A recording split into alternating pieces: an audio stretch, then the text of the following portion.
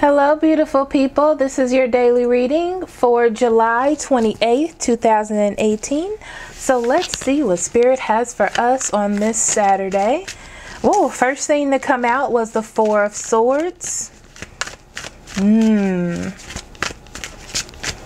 Today is a day of thinking, okay? So I feel like you're definitely putting a rest to the issues that are going on around you so you can focus, so you can make better thoughts, okay? So it does look like someone decided to come into you, okay? This could be a Cancer, Scorpio, or Pisces, being that it is the Knight of Cups, okay? Or you can, or something happened that lightened up your day. Um, when you didn't think that that would happen. Okay.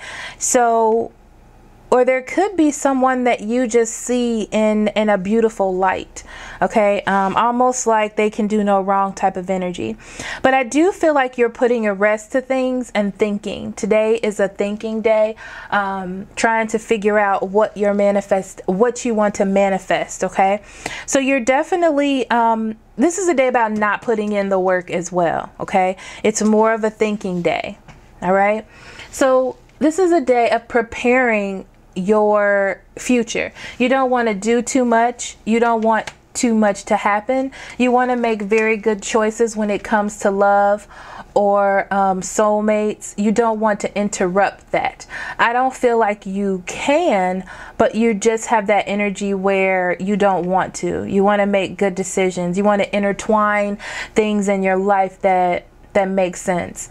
So you're definitely thinking about uh, separating things or if you are ready for this transformation or if this transformation is for you because like I said it's definitely coming into you especially with the ace of cups here on top.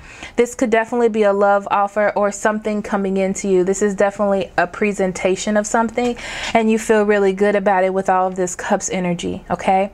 So it's like do I want to go back in and deal with this? Do I want to handle this? Do I want to be a part of this energy? And that's what what you're thinking about. Lots of thinking energy um, for the last two days, guys.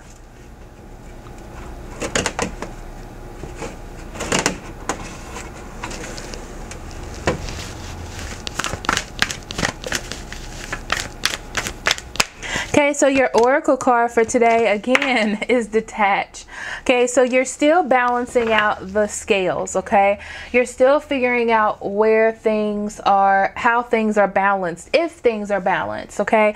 It's like you don't want to have prejudice about your decision making. You do see an offer, you do see an opportunity, but you don't want the burdens. You want you don't want the heaviness. Should I walk into this? Should I not? And that's what I'm getting. But like I said, there's there's more rest. There's more, is this worth the transformation? Will there be a transformation? Okay.